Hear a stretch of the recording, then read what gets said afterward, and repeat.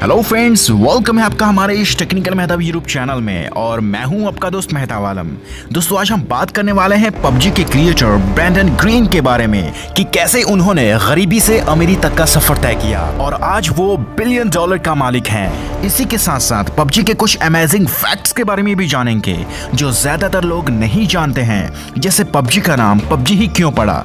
क्या पबजी को चाइना ने बनाया है? पबजी एक दिन में कितने पैसे कमाता है? पबजी में जो जगह है, वो असल में दुनिया की कौन सी जगह है? विनर विनर चिकन डिनर का जो ये फ्रेज है, ये फ्रेज कहाँ से आया? दोस्तों, अगर आप इस वीडियो को पूरा देखेंगे तो आपके मुँह से सिर्फ़ एक ही वर्ड निकलेगा अमेजिंग वो इसलिए क्योंकि पबजी के जो क्रिएटर है ब्रैंडन ग्रीन उनकी पूरी स्टोरी और पबजी के बहुत से इंटरेस्टिंग फैक्ट्स के बारे में बताया है। तो बिना वक्त जाया किए इस वीडियो को शुरू करते हैं। दोस्तों, पबजी के जन्मदाता ब्रैंडन ग्रीन की स्टोरी शुरू करने से पहले, पबजी के कुछ अमेजिंग फैक्ट्स के बारे में बात कर लेते हैं। फैक्ट नंबर नाइन क्या आपको पता है कि पबजी का नाम पबजी ही क्यों पड़ा? पबजी का full form player on non battle ground होता है। प्लेयर ऑन नॉन जो है, पबजी के जो क्रिएटर है ब्रैंडन ग्रीन उन्हीं का ये निक नेम है। वो इंटरनेट पर इसी नाम से फ़ेमस है, क्योंकि जब वो गेम खेलते थे तो उस वक्त वो इसी नाम का यूज़ करते थे। इसलिए उन्होंने गेम का नाम भी अपने नाम पे रख दिए। फैक्ट नंबर एट क्या आपको पता है कि पबजी को बनाने वाले ब्रेंडन ग्रीन कितने अमीर शख्स हैं? तो मैं आपको बता दूँ कि आज उनकी नेटवर्थ 5 बिलियन डॉलर्स है अगर हम इंडियन रुपीस की बात करें तो तीन अरब सात सौ चालीस करोड़ पैंसठ लाख रुपए हुए। इंफॉर्मेशन कंपनी सुपर डेटा के मुताबिक 2018 में पबजी ने एक बिलियन डॉलर्स, यानी सात हज़ार करोड़ रुपए कमाए थे। अगर हम दिन की बात करें तो पबजी एक दिन में 20 करोड़ रुपए कमाए। अगर हम एक घंटे की बात करें तो एक घंटे में तिरासी लाख रुपए हुए। अगर हम एक मिनट का हिसाब लगाए तो एक लाख अड़तीस हज़ार रुपए प्रति मिनट। और अगर हम एक सेकंड का हिसाब लगाए तो पबजी एक सेकंड में दो हज़ार तीन सौ रुपए कमाती है। अब आपके दिमाग में ये सवाल उठ रहा होगा कि आखिर इतनी कमाई हो कैसे रही है? हालाँकि पबजी तो फ्री गेम है तो कमाई कहाँ से हो रहा है? अगर आप पबजी खेलते होंगे तो आपको पता होगा कि पबजी में कुछ पेड आइटम्स होते हैं, जिसे हमें खरीदना होता है लाइक स्किन गन्स वगैरह। और यही पेड आइटम्स हज़ारों लाखों लोग खरीद रहे हैं पूरी दुनिया भर में। तो उसी से सारा रेवेन्यू जनरेट होता है। फैक्ट नंबर सेवन क्या आपको पता है कि पबजी में जो एरेंगल मैप होता है, उसका नाम एरेंगल कैसे पड़ा? आपको बता दें कि पबजी के अंदर जो इरेंगल नाम का एक मैप होता है, इसके पीछे एक बहुत ही इंटरेस्टिंग कहानी है। पबजी का जो क्रिएटर है ब्रैंडन ग्रीन उनकी बेटी का नाम इरन है। अगर हम इरन को एंजल के साथ जोड़ कर देखें तो वो एरंगल बन जाता है। तो ऐसे मिला एरेंगल मैप का अपना नाम। फैक्ट नंबर सिक्स दोस्तों, जैसा कि हम सभी जानते हैं कि पबजी में पहुंचिंकी है, लेकिन क्या आपको पता है कि असल दुनिया में भी पहुंचिंकी है?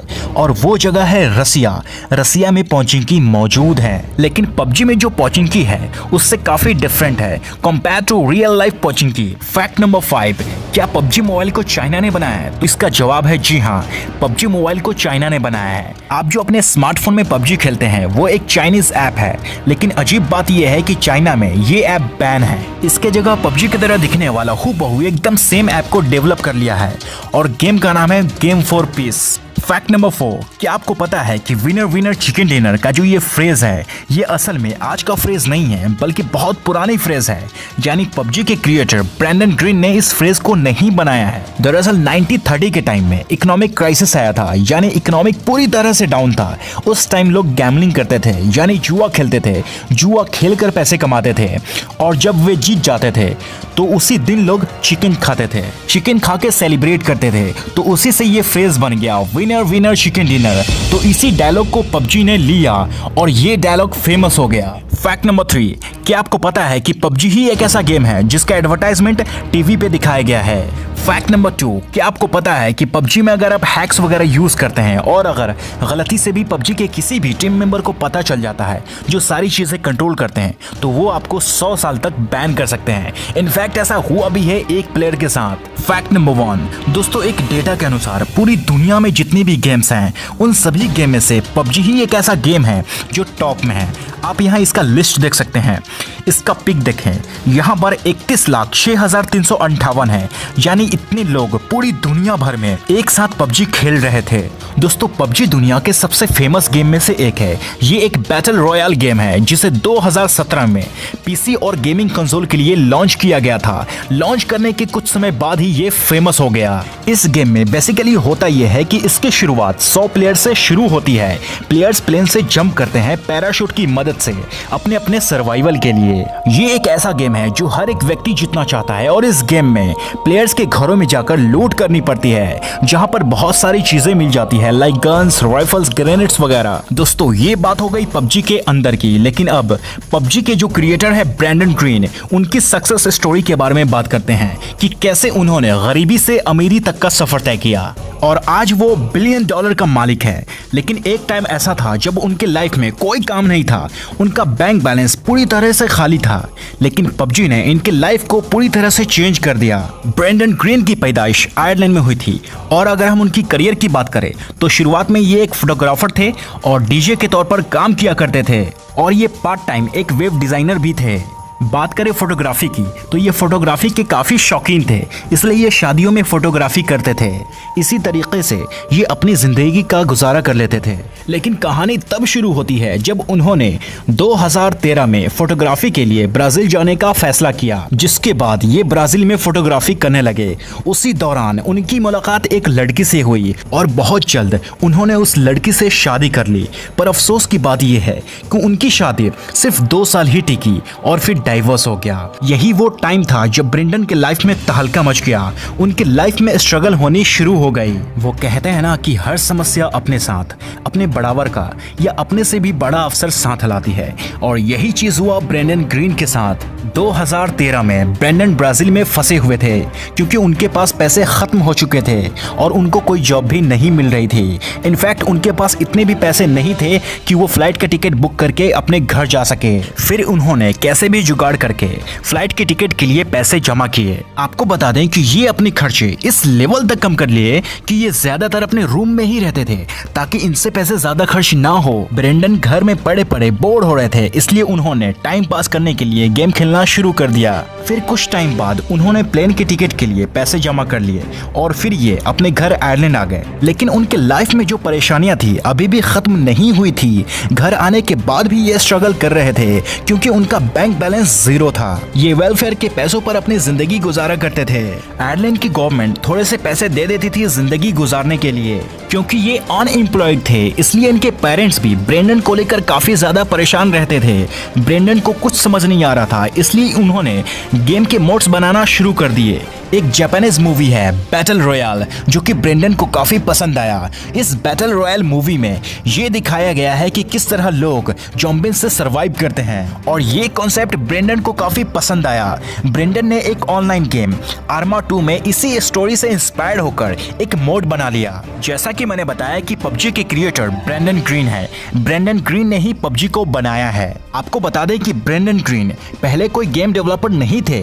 उन्होंने बाद में गेम्स का डिज़ाइन और कोडिंग करना शुरू किया। ब्रेंडन काफ़ी खुश थे क्योंकि उन्होंने जो आर्मा 2 का मोड बनाया, वो काफ़ी फ़ेमस हो गया। जिसके बाद सोनी ऑनलाइन एंटरटेनमेंट की तरफ़ से कॉल आई एक गेम बनाने के लिए। वो भी सर्वाइवल गेम ये बात सुनकर ब्रेंडन काफ़ी खुश हो गए और फ़ौरन ही वेलफेयर की ऑफ़िस में जाकर इन्होंने इन्फॉर्म किया कि अब हमें वेलफेयर की पैसों की कोई ज़रूरत नहीं है। और फिर ब्रेंडन ने सोनी के साथ मिलकर दो सालों तक एच वन जेड वन मॉन्टेक गेम पर काम किया। और फिर 26 फरवरी 2016 में ब्रेंडन साउथ कोरिया चले गए।